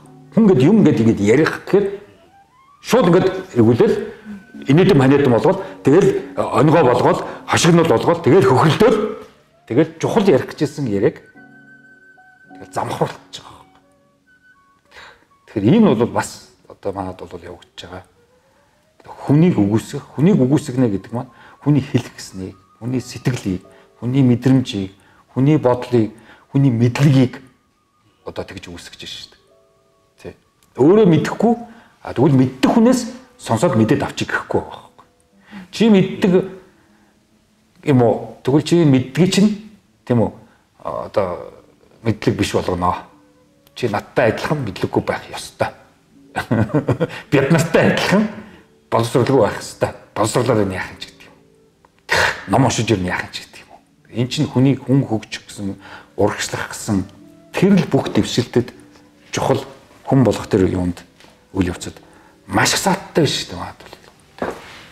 Би хүнтэй холбоотой шударгаас ном дээр бас аа эхлэлт хэсэг дээр гардаг. Аа яг нөгөө би хүн би болоход нөгөө хүн гэдэг ойлголт гарч ирсэн гарч ирдэг. Тэгээ нөгөө хүнийг нөгөө хүн байж ээж нөгөө хүнийг таньж ээж бас би одоо хүн өөрийгөө олж авнаа гэсэн нэг тийм юм явж байгаа. Энэ дээр хамааралтайгаар бас нэг юу хүний нэр хүнд гэсэн сэдв орж ирсэн. Энэ дээр их сонирхолтой санагдчихсэн л да. Одоо нөө нийгэмд хүмүүс айгүйх нэр хүндээ бод хичээх, нэрээ бодох гэсэн ойлголт гарч ирээд байгаа. Энэ яг шудраг өстэй ямар хамаартай юм бэ? Одоо нийгэмд одоо хүн ингэж нэр хүндээ бодох яг хэрэгтэй юу? Яа одоо бид нар ингээл сайн ингээл одоо цагаан сар болно гээл тэгэл нөгөө шинэ жилийн дараагийн том одоо шагналын хурал булаач штэ тийм үү Тэгээд тэрүүгээрээ одоо хүм хүнийг одоо ийм шагналтай, ийм цолтой юм чинь одоо энэ хүм ундаг чи дугаа бай гэсэн ийм их мухай одоо ялгуурлал явагдаж шүү дээ. Тэгэхээр тэр нөгөө шагнал авсан цол цолтой болсон тэр хүн тийм ч мундаг биш. Тий, бусдаас бүр ингээд гоц дээшээ гарцсан биш. Тэгээд маш их мухарцтай хүнд одоо ардын багш шиг цологчдаг ч юм уу. Хизээч одоо ардын багш байтхаа ардын өстой хоцрогдол болохоор тийм хүмүүс ч юм. Тэр энэ одоо нэр хүнд гэдэг маань яг ер нь бол уул нь цаад зориг нь бол энэ хүний хэлсэн ярьсан бол үнэхээр одоо хүчнтэй шүү. Тийм учраас энэ хүнийг сонсорой гэсэн тийм л одоо ойлголт явж байгаа шүү дээ. Тийм ээ. Тэгэхээр гэдэг нэр хүнд гэдэг байна. А тэрнээс одоо цол шагналаар бол хэнийгч нэрт хүнтэй болгож чадахгүй. Тэр бол одоо том эндүүрэл Тий харин ч цул шагнал өгж гавьяат болгоснороо тэр хүнийг харин ч яста хүмүүсийн дунд ичвтер хүн болгоод дуусгаж байгаа байхгүй. Зарим хүн одоо цолноосоо иччихэж шагналаас иччихэж шүү дээ. Одоо тэрнийхээ хэмжээнд өөрөө биш. Тэгэхээр тэгэхээр нэр хүнд гэдэг бол үнэхээр хүнд тус болохоор хэлсэн ярьсан мэдлэгтэй боловсралтай тийм хүнийг бол одоо тэгэл нэр хүндтэй л гэж дээ. Тэгэхээр нэр хүнд гэдэг маань нэг зүгээр нийгэмд хин нэгний хүчээр одоо энэ мундаг за тэгээд энэ үгийг хүний үгээд одоо сонс гэсэн тэр одоо буруу ойлголтоос бид нар хол явах хэрэгтэй. Тэгээд хинд ч нэр хүнд бол хэрэгтэй. Яг бол тэр хүн бол нөгөө ёс суртахуун тий заавал хүн хүндэр физик математик гадаад хэлтэй байх алгүй. Ерөнхий нийгэмд хүмүүсийн тунд хэрэг болдог. Нөгөө шеэр хийдэг, мэдсэн сурснаа шеэрлдэг Тэгээ тэндээс бусад хүмүүс санаа авч, сургамж авч явдаг. За ийм одоо цэцэн мэрэгэн wisdomтай ийм хүмүүс бол justiceтай шударгасны ийм хүмүүс бол жирдэм чим бол тодорхой нэг хэмжээгээр ааха тэр хүн үү аа наад хүн чинь шударгастай тэр барьдаг шүү. Энэ хүн шиг л ер нь тэгээд баримжаатаа яваарай нэг иймэрхүү явхад тэгээд болчин шүү гэсэн. Энэ л нэг бидний амьдралд нийгэмд хүмүүсийн дунд оролцох амьдралын баримжааг л нэр хүнд гэсэн үгээр л бид нар яваад байгаа шүү дээ. Илэрхийлээд байгаа шүү дээ. Тэрээс бол цол шагалтай ямар ч амгүй шүү. Тэглэрх номд яг шүү нөө олон тэгшэрхүүдийг бид нар бас орхигдуулаад байна гэсэн. Харин гэсэн байгаа. Эндээс жишээ нь чөлөөт цагийн тэгшэрх гэдэг байгаа. Энэ бас хэрэг чухал байна. Чөлөөт цаг. Тийм. Ерөөсө чөлөөт цагийн тэгшэрх бол ерөөсө хүмүүс бол би одоо тийм үү өдөөс хойш одоо хинтэй ч уулзахгүй хинтэй ч ярихгүй шүү. Найз нарыгаа уучлаарай би хагасан бүтэн сайн ном уншин өөрийгөө хөгжүүлнэ гэд одоо чөлөөт цагаа өөртөө одоо зарцуулнаа гэдэг юм. Одоо гэрийнхэндээ тийм үү. За энэ хагасан бүтэн сайн би одоо чөлөөт цагаа өөртөө зарцуулнаа ч гэдэг юм. Тэгэхэд одоо юу гэдэг чинь тийм ээ? Янз бүрийн шалтгаанаар одоо уулзъя, учрыг зугаалъя, салхинд гарыч гэдэг юм уу? Эсвэл одоо тийм тийм тийм одоо айл авчин одоо юу гэдэг. Тийм маягаар хувь хүний тэр чөлөөт цагаа 100% өөртөө зарцуулах гэсэн тэр эрхчлөөг гээд хааж байгаа байхгүй юу. Ер нь бол одоо чөлөөт цагаараа тэгээ яах гэж байгаа, юу хийх гэж байгаа ч гэдэг юм. Гэхдээ тэр тэр хүнд амарч хамаагүй шүү дээ. Тийм би өөрийнхөө чөлөөт цагийг өөрөө идэх энэ бол цэвэр надад олгогдсон. Тийм би 7 хоногийн дурс ажилдаа завгүй ингээд явдаг. Өөртөө нэг жоохон цаг хугацаа зориулмаар шүү дээ. Би өөрөө өөртөө нэг тайван унших гэснээ уншаад хэвтэх гэснээ хэвтээд босох гэснээ босноод гаруул гараад оруул ороод заавал хин нэгэнтэй хамт гарч явах биш. Заавал хин нэгэнтэй салхин дарах биш. Одоо юу гэдгийг заавал нэг тийм үү дотн тэр найз нөхөд гэдгээрээ эсвэл ажлынхан газрынхантайгаа гэж гэдэг юм уу. Заавал одоо хамт байх ёстой. Заавал хамт гэсэн тэр юунаас одоо тасарч хүн одоо хувийн өөрийн бие үүсэх энэ одоо боломж ялангуяа тэр чөлөөт цаг дээр амралтын цаг дээр ганцаараа өөрөө тэр амралтаа эдлэх энэ ч амар чухал болчиход байгаа байхгүй. Яг бол хүн чинь өнөөдөр түрүү ярьсан маш их энэ интернет энэ маш их боломжууд бий болсон биш үү? Ингээл ороод тэгэл сонирхолтой маш их биш үү? Сурчмаар, сонсчмоор юм маш их биш үү? Тэр чинь хидийдээ цаг гарах юм хүн чинь хүн чинь өдөр чинь тийм үстэй 24 цагийн тетэн цагт нь унтан тетэн цагт нь ажиллана мөнгө төгрөг олно Тэгэл үлдсэн жоохон ажлыг чинь цагийг чи өөртөө зарцуулахгүй. Тэгэл одоо нөгөө Монгол хүн 60 өрнөө ухаан орноо 61-тэй дэвш 60-таатай өгч байгаа шүү дээ. Ухаан ороод өгч байгаа шүү дээ. Тий. Тэр 60 өрнөө ухаан орноо 61 хүрнээ өгнө гэдэг чинь бас нэг жил өгөөд дээ шүү дээ. Би бол тэхгүй байгаа шүү дээ. Нэг хоног л өгч байгаа шүү дээ. 60 хүрлээ. Тэгээд 61 маргааш өглөө. Тэгэхээр тэр чинь юу гэж нэрвэл өөрөлд би өөртөө юу ч зарцуулаагүй өөрийгөө ерөөсөө тэгэл тийм үү ингээл анхаарахгүй ингээл хайцсан тэгэл хүмүүсийн л одоо тэгэл дуудахт нь очиж ил байдаг тийм юм хийгэгт нь хийж ил байдаг тийм юмд яв гэхт нь явж ил байдаг. Тийм үү? Тийм өөрөө өөрийнхөө хөрөө явж чадаагүй өөрийгөө үүсгэж өөрийгөө зохион бүтээж чадаагүй шүү дээ. Өөрийгөө өөрийнхөө бүтээл болж чадаагүй. Би чинь бусдын бүтээл юм биш шүү дээ.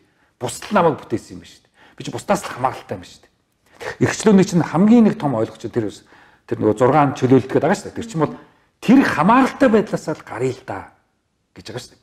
Хитрхийн хамааралтай болохоор нөгөө эргчлөөтэй болоход анхны юу чин шат чин биелэхгүй дээ. Анхны алхам чинь бол тэр олон хамаарлуудаасаа мултрах. Одоо тэгээ цаашгаа сонгоно уу, шийднэ үү, хүснэ үү? Тийм маш их одоо чөлөөтэйгээр имийг одоо хүсэх, хүсэл, хүслээ биелүүлэх, өөрийн гэсэн зорилготой байх, тэр зорилгоо биелүүлэх, зорилготой хүрээд зорилгоо биелүүлэхээр хүн жаргадаг гэдэг шүү дээ. Тэгэхээр юу юу юу наадж байгаа бол хийгээд зорилгоо биелүүлэх зоригтой байх. Зоригтой байна гэдэг чинь одоо бие хүн байна шүү дээ. Зориггүй байна гэсэн тэр хүн бие хүн үсэггүй байхгүй. Чи ямар зоригтой? Ирхчлээ ярих уу? Гүтгэж юу ярих юм? Үгүй дүүл эргчлөөнд юу хэрэглэх юм? Тий, эргчлөөг бид бид нар нэг зоригтой, хүсэлтэй, тийм үү? Тэдрийгэ биелүүлэх гэж бид нар эргчлөөг шаардж байгаа шүү дээ. Тий. Адраас зориггүй хүн, хүсэлгүй хүн эргчлөөний хэрэг ямар ч байхгүй. Тий, одоо тэгэл тэгэл хүний үгээр л найз нөхдийнхөө үгээр л дараагийнхаа үгээр л тэгээд одоо явах та тий. Яг нөгөө саяны чөлөөлөгдснийхаа дараа хүн нэг дөрвөн эрх чөлөөнд хүрэх тухай ном бас ярьж өгч байгаа шүү дээ. Хүсэл хүний нийгэм нийгэмд одоо яаж бие авч явах юм. Аа тэгээд нөгөө цаашлаад оюунлаг яаж оюунлаг болох юм. Харин тийм. Яг энэ нөө эрхчлөө гэдэг ойлголт өөрөө оюуны эрхчлөө гэдэг талаас нь бичсэн ном байгаа тийм. Харин тийм. Тийм ч бас зөв нь бол тэнд бол яг ер нь нэлээд яаж хүн оюуны чадвартай болох вэ? Тэр чинь бүр ингээд дараалуулаад дистракт авчихсан байгаа л. Тэгэл энэ том том философч, том том оюуны хүмүүсийн тэр юм дээрээс онлуудаас шүүгээд, цэгцлээд, товчлоод тэрхүү Монгол э, маягийн Монгол оронд Монгол хүмүүсийн дунд хэрхэн одоо энэ хүсэл өөрийн гэсэн зорилгоо бас биелүүлэх тэр арга мэх тий тэр ч маш чухал л да. Мэдээж одоо зузаан номыг тэм цагийн дотор ярих боломжгүй. Яг нөгөө энэ оюуны хувьд хөгжиж дэвшгээрээ хүн эрхчлөөтэй байна гэдэг дээр хүмүүс нэг ингээд нэг яг нөгөө өмнөх чөлөөлөлтөөс гараагүй болохоор нэг бууж өгөхгүй байгаа дэж магадгүй. Тэгэхээр яг энэ оюуны хувьд хөгжиж дэвснээрээ яагаад эрхчлөөнд хүрэх боломжтой болж байгаа юм бэ гэдэг Харин тий. Тэгээ тэр чинь ер нь энэ юунууд чи ингээд одоо энэ энэ тхэг хятад энэ араб персийн одоо эртний одоо философчдын одоо хэлснээр бол тэр оюуны эрхчлөөг бол энэ хүмүүс чинь бол маш их чухалчилж байгаа шүү дээ. Эдгээр бол эдгээр дотор мөнгөтэй баян тансаг байсан хүмүүс байхгүй шүү дээ. Гэхдээ эдгээр бол оюуны хувьд өндөр баян байсан. Оюунлог хүмүүс байсан.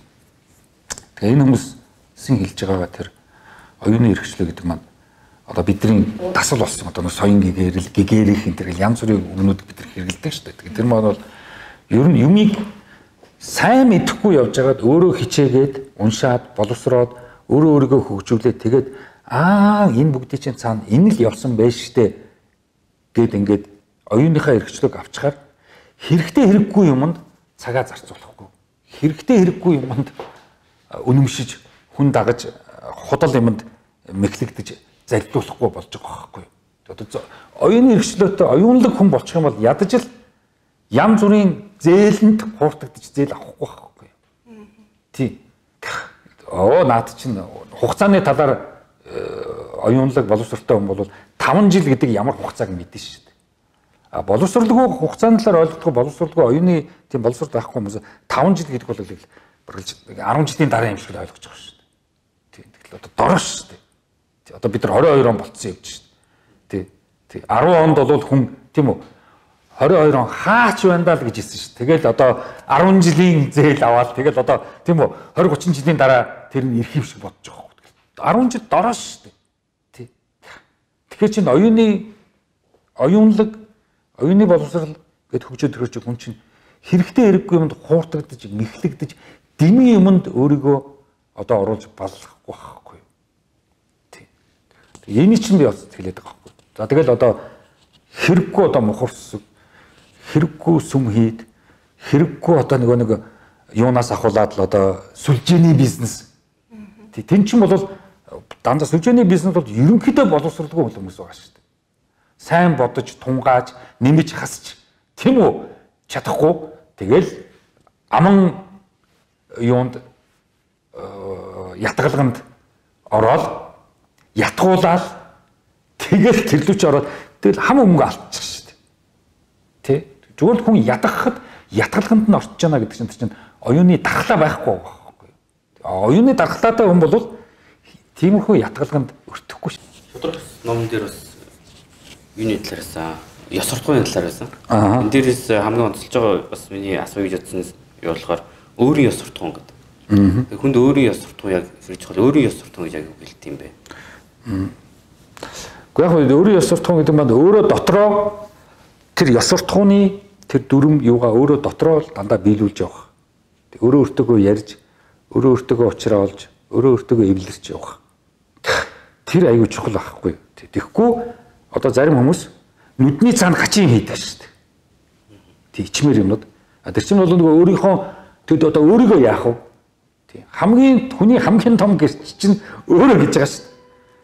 Тэгэхээр чи өөрийгөө муухай залтж шүү дээ. А өөрийгөө залтсан чинь дараа нь өөрөөсөө ичдэг шүү дээ бид нар. Тэг хүн булан ториод яаж шин мэдхэр. Тэг одоо энэ юуны газруудад ингээ 0 молд орохоор тийм үү? Ямар хүний одоо үйлдэл нь нүдний цаан ч одоо э, юу зөв өдр гэдэг тийч хотлоо байхгүй юу? Тийм. Ёстой нүдний цаана бол ёстой муухай шүү дээ. А тэгээ тэрийг нуух хэрэггүй байхгүй. Тий. Нүдний цаана би нэг хаана үлээ нэг гадаадын хүмүүстэй нэг уулзалтанд ороод тэгээд ингэж яжсан энэ тэрэлжид олон жилийн өмнө Тэгээд ингээд бид нар ингээд нэг газар ингээд ороод дараа нь ингээд хоолнд орох болсон баху гэдэг гадаадын зочид өрөө өрөөнд орцсон. Би бас нэг өрөөнд орцсон байж байгаа. Тэгээд бүгдөө өрөөнүүдээсээ гараад тэгээд доор хоолнд орох гэсэн чинь нэг нэг нэг хаанах юм бэлээ нэг герман болов биш герман итали байсан баха. Тэр залууг би очоод доошоо хоолнд орох гэж юм гэсэн чинь нөгөө чинь нэг гачин болоод ингэсэн байхгүй. Тэгсэн чинь харин манер тэнд нөгөө том юм нөгөө усанд орсныга дараа арчдаг нөгөө цагаан альчуур шүү дээ тэрүүгээр ингээд гутал шороогоо ингээд арччихсан байсан. Намайг харснаа гинцчихэд цаашгаа шидсэн байхгүй. Тэгээ тэр бол ёстой өөртөө ёсортонгүй хүн байгаа байхгүй. Ийм газар, ийм одоо юуны үйлчилгээ энд хүн ажиллаж байгаа. Тийм үү? Тэр хүмүүсийг одоо ажлын хүндэтгэж чадахгүй хүний нүдний цаан тийм бүдүүлэг. Одоо манай ч гэсэн ер нь одоо Америкт их сургуульд төгсөөд ирсэн доктор болоод ирсэн хүмүүс ч гэсэн хөдөө машинтай жиптэй энэ төр явж байгаад хог энэ төр ингээд асгадаг гэж байгаа байхгүй. Тэгээ нэг гадаад байсан хүн болохоор нэг хүн очоод тэг ингээд гадаад мод тод байсан. Чи яагаад ингээд ингээд хог мог асгаж байгаа юм энэ одоо болон энэ төр гэдэг. А энэгээр цэвэрлдэг хүмүүст би одоо тийм үү ажил өгч байгаа. Тийм цэвэрлэгч нарт одоо цэвэрлэгч нар эдэлэгч нарыг ажилтаа болгож байгаа гэж байгаа байхгүй. Тийм хачин одоо өөрөө өөртөө ёс суртахангүй байгаа байхгүй. Тийм. Тэгээ ийм юмнууд бол ер нь бол манад бол хүн болвол тэр ёс суртахууныг бол зөвхөн заавал хүнээс одоо шаардах биш. Бусдаас ёс суртахуун шаардах биш. Өөрөө тэр ёс суртахууны тийм моралтай байж ич тэгээд дараа нь өөр хүнээс одоо юм шаардсан шүү дээ. Тэгэхээр ер нь бол ингээл заавал одоо тийм үү одоо одоо цэвэрлэгч хүнд заавал одоо хог новш тарж ажилтаа байлгана гэдэг чи одоо тэр юу гэсэн үг. Бүдүүлгийн гурван зэрэгтэй байгаа ч тийм багшийн 3 улаанон 3 хөх ном дэр бас нөгөө сэтвтэй холбоотой зураг болон кинонуудыг бас харин тийм байдаг. Тий. Тэгээ тэн дээр би бас шудрагсан дээр бас нэг киноны талаараас асуух гээд. А за. Seven Seven талаар Brad Pitt, Morgan Freeman ээ. Тий. Seven киноны төгсгөл дээр болж байгаа үйл явдал дээр нөгөө цагдаа залуугийн их нэрийг нөгөө алуурчин Тий, одоо алуурчин алуурчин биш л дээ. Зохиолын дүр дүр зохиолын дүр. Тий. Жон Доул, Жон Доул шүү дээ. Тий, тэн дээр яг хуу цагдаа Э, тэр яг нь төгсөлтөн тэр залуу бууз төгсөлт. Тийм мөрдөн байцаагч. Мөрдөн байцаагч. Тэн дээр шудрагс төр хамаатай тэр шудрагс мөн үү эсвэл ёс суртахууны ёс зүйний бас эсрэг үйлдэл үү? Харин тийм ер нь бол энэ психологийн маш их том сэдв явж байгаа л да. Тэр 7 одоо 7 гэсэн тий. Тэр чинь бол нэг 7 вирчүү 7 эрдэм. А тэгээд 7 wise гэдэг штэ. Тэгээ wise гэдэг бол одоо 7 юу гэсэн үг шүү дээ. Одоо эрдмийн эсрэг одоо долоон эрдэнгүүч гэдэг юм уу? Долоон одоо юу юу? Гинт үйлдэл. Тий гинт үйлдэл. Одоо буруу үйлдэл wise гэдэг чинь тий. Буруу үйлдэл гинт үйлдэл гэсэн. Тэгэхээр тэр буруу үйлдэл гинт үйлдэл дотор чинь нөгөө шунал нөгөө ховдог за тэгэл одоо өөрийгөө хичээх одоо юу байдгийг за тэгэл худал хуурамч тэгэл одоо дур тачаал одоо юу гэдгийг юм тэр бүх муу долоо байгаа шүү дээ. Тэгэхээр тэгэхээр а нөгөө Жон Доулчин бол ийм одоо нийгэмд ийм хэрэггүй ийм муу долоог одоо тийм үү хэрэгжүүлдэг энүүгээр амьдрдаг энүүгээр мөнгө олж иддэг энэ хүмүүс бол маш том одоо нийгмийн одоо хорт дайснууд бурхны хэлсэн тийм үү долоон эрдмийн долоон вирчүүгийн одоо тийм үү эсрэг энэ хүмүүс бол одоо тамаргоо явах хэвээр. Тийм учраас би бол бурхны өмнөөс шудраг хэсэг хэрэгжүүлж яах гэж байгаа шүү дээ. Тийм. Тэгээд хамгийн сүүлд нөгөө мөрдөн байцаагч одоо нөгөө юу жүжигчин хин Брэд Питт тоглосон тий. Тэгээд тэр чинь бол одоо хамгийн сүүлчийн муу мухаа бол нөгөө хилэгнэл тийм үү одоо уур биш бүр бүр хилэгнэл. Тийм тэгэхээр хилэгнэл гэдэг бол хилэгнэх гэдэг бол бас тэр нөгөө долоон муу мухагийн нэг байхгүй. Тийм манайхан чинь сайн сайн сайхан муу мухаа хоёрыг ингээд буруу орчуулад байдаг байхгүй. Одоо жишээлбэл эвэлийг манайхан чи өгдөг лээ дээ. Чөтгөрч шиг орчуулад байдаг байхгүй. Эвэл чинь чөтгөр биш байхгүй. муу байхгүй. Тэгэхээр тэр муу муухай долоо дахь муу муухай бол хилэгнэл. Тэгэд брэд бидний хилэгнэлийг хөдлөж байгаа байхгүй. Тэгэд хилэгнсэн хүн чинь яг уу уурсан хүн алахгүй шүү дээ. Хилэгнсэн хүн чинь тэр Жон Доул гэдэг тэр одоо дүрийг. А яг уу бидний нөгөө бид нар нэг нэг үнэлгээгээр тэр хүнийг одоо нэг талаас одоо үзэгч юм уу зүгээр фильм үзэж байгаа кино фильм үзэж байгаа хүн тэрнийг одоо алуурчин буруу гэж байгаа боловч тэр хүн Жондоолын өөрийнх нь хувьд бол маш зөв юм хийж байгаа байхгүй. Тэр хүн чи одоо би зөв юм хийж байна. Энэ ертөнцийн муу мухайг би одоо устгачлаа. Тэгэхээр би нийгэмд хүмүүст сайн хийж яана гэж шүү дээ. Достоевский дээр чи бас тийм психолог явж байгаа ш тийм үү? Өөрөөр хэлбэл тэр нэг тэтгэврт гарсан юутай баркат ажилуулдаг авгаа бол мөнгө ихтэй. Гэтэ тэр аваад мөнгөний хэрэг байхгүй. Раскольников залуу бол оюутан, хуулийн оюутан, мөнгө муутай. Тийм үү? Мөнгөгүй айл явахад оюутан мөнгө хэрэгтэй байдаг. Тэгэхээр мөнгө хэрэгтэй залууд мөнгө авахгүй. Мөнгө хэрэггүй тэр аваад мөнгө их байдаг. Тэг эн чинь одоо тийм үү? Гадын юугаар шудрах ус биш шүү дээ. Тэгэхээр Раскольников очоод тэр авгааг одоо алж байгаа шүү дээ. Тэгээд алаад мөнгөний авч байгаа шүү дээ. Тий. Ядвал чамд мөнгө хэрэггүй надад мөнгө хэрэгтэй гэдэг. Гэтэ яг сүүлийнхаа сүүл рүүгээ тэгэл станаг нэг хувийн өөрийн моралынхаа асуудалд орж өөрөө өөрийгөө шийтгдэг шүү дээ. Өөрийгөө цагдаад авчигдаг шүү дээ. Тий. Тэгэхээр бас нөгөө хорвоо шудрах бус гэд нэг сэдв бас шудрах юм дээр орсон байгаа тийм. Байна шүү дээ тий. Тэгэхээр нөгөө бүх юм шудрах сайн сайхан амьдрал сайхан гэд хүмүүс зөвхөн тэр зүрөө ингээд хараад иддэг. Тэгтэл бас шудрах бус муу мухай юм байдаг шүү гэдэг. Тэр төргөө байгаа шүү. Тэрийг одоо нуух юм тий бүгдээрээ мэдж байгаа.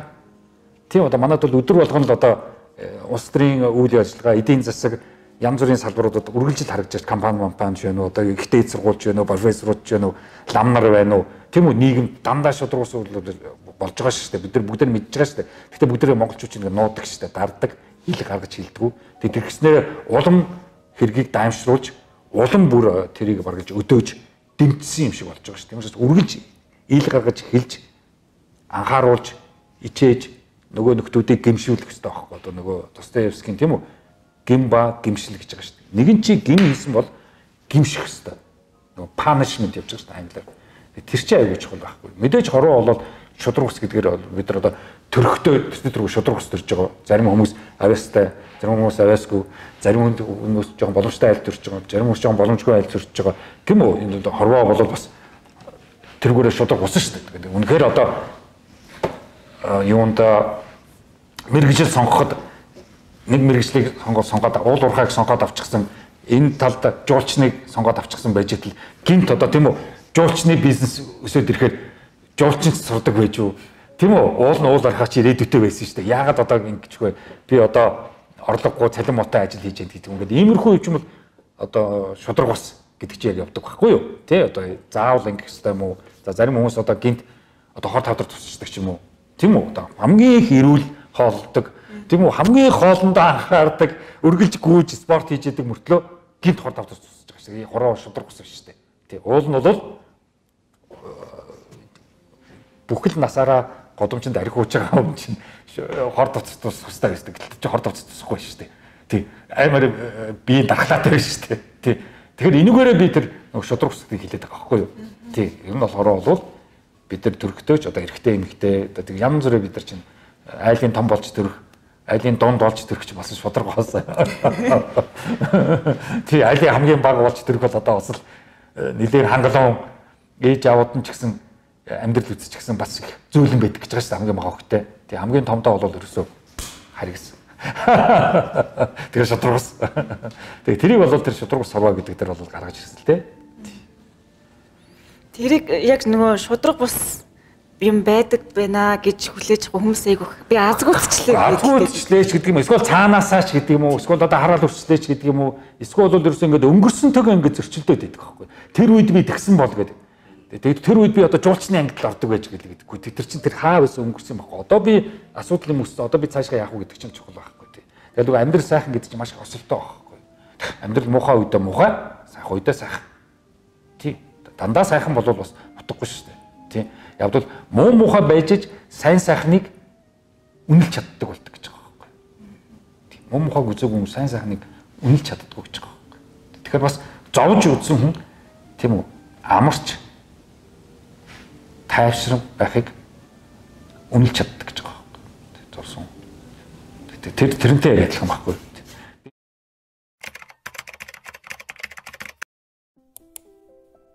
Сайн байцгаана уу?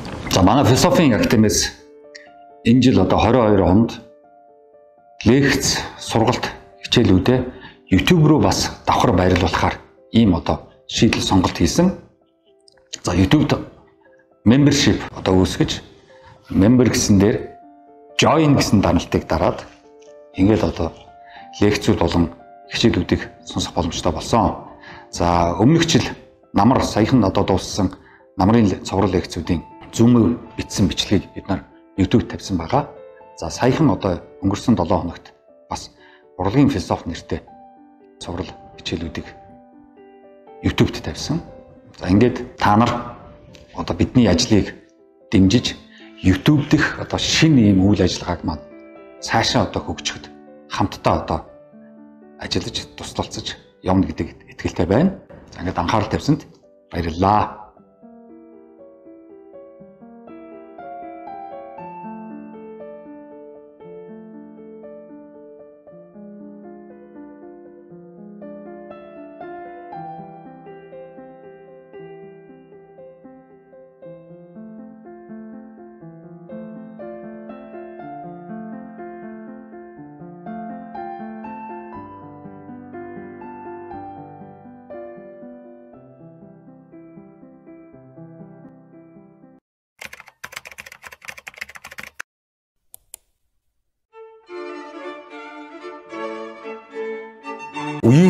Тэр бүтээл хоцрогдохгүй, гологдохгүй дахин дахин одоо үзэж дахин дахин тэр бүтээлтэй танилцж тэндээс суралцж байгаа.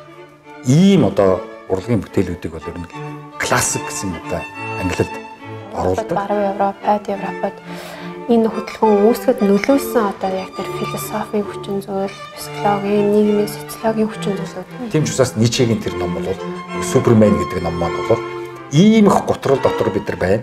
Энэ дотроос яаж би өөрөө өөрийгөө авч супер хүн шиг ингэж дээд хүн шиг болох юм бэ гэдгийг Ниче зохиолдоо бичиж байгаа шүү дээ. Гётег ийм антикийн үеийн ийм чулуун хилтерхийн дээр суулгаад цаана нь антикийн том том том том баган бүтээлүүдийг одоо харуулсан харуулсан тийм одоо зураг зурсан. Тэргээр юугаар одоо хэлж өгнө гэвэл тэр сайхан антикийн үеийн тэр одоо тэр бүтээлүүд хайччих вэ? Яагаад энэ бүгд бусдад ингэж алга болчих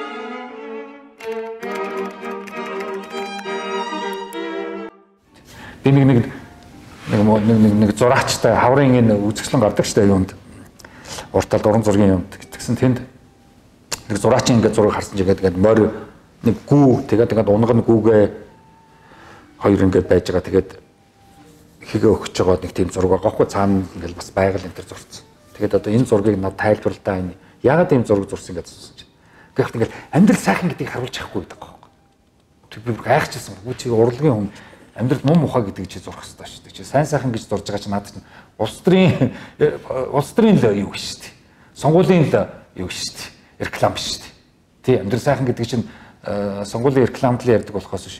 Жинхэнэ үнэн амьдрал бол амьдралс муу мухаа үзэндөө баг шүү дээ. Тий. Тэгэхээр тэр бол амьдрал бол сайхан үдэ сайхан мухаа өдөө мухаа амьдрал сайхан штэ л гэдэг.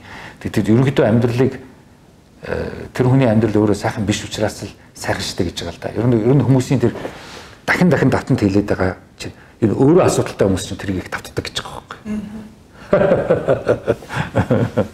Хэлдэг.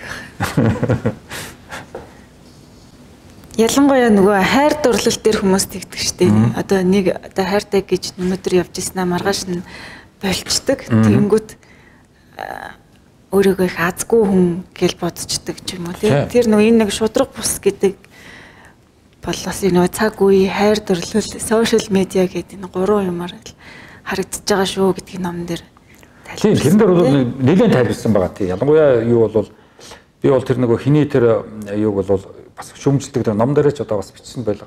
Юу лекцэн дээр ч хэрэгэлдэж. Ер нь бол энэ хайр дурлалын асуудал дээр бол монголчууд бол маш болгоомжтой хандахгүй бол бидний энэ яриад байгаа энэ хайр дурлал одоо тэр лав гэдгийг орчуулад хайр дурлал гэдэг бол яг жинхэнэ тэр тэр одоо романтикийн үеийн тэр Шекспирийн тэр номын үеийн дараа нь хайр дурлалын тухай гарч байгаа кино фильмүүд ямар ч хамаагүй маш буруу ойлгоод байгаа байхгүй яг юм ном шиг ойлгоод байгаа байхгүй роман шиг ойлгоод байгаа байхгүй. Зүгээр роман дээр бол жоохон хитрүүлэн төрсөлдөг байхгүй. Ер нь бол урлаг бол ямиг хитрүүлэн муучлан хитрүүлэн магтана тэр бол нэгдэг онцлог байхгүй.